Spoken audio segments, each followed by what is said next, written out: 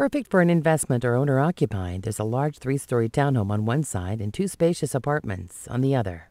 There's an attached yard, patio, newer HVAC, partially fenced yard, and a convenient location to downtown. Live in one and rent out the other to pay your mortgage. Talk to Ruth about the many updates here.